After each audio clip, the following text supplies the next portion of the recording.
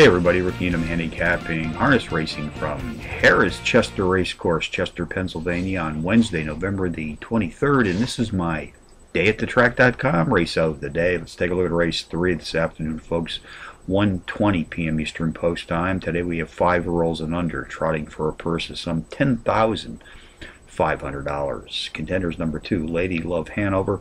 Number four, Bell's Nickel number three, Missy Goldfire, and number five, Rocket Master.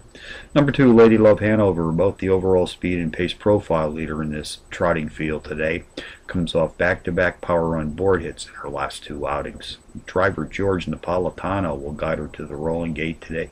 Today, he's posted a stellar .323 universal driver's rating in the last 12 months which is easily the top UDR in its field today.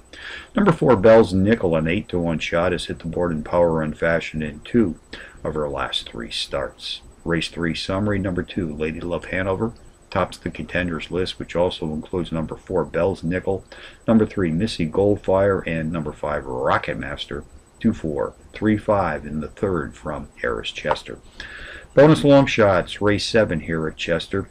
The 9 to 2 shot, number 7 Just Right, qualifies as a Trackmaster Plus Power Pony. Has posted a pair of power run wins in his last three starts. Race number 8, number 5 Magnum Cosmos, a 15 to 1 bomb, qualifies as a power pony and is the pace profile leader in this field.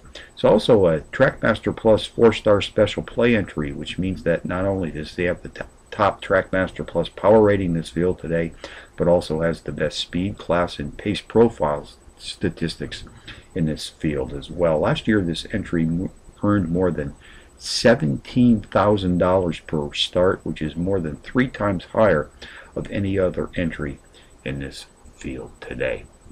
So from Harrah's Chester on a Wednesday, Rick Needham for dayatthetrack.com, reminding you as always to please bet with your head, not over it.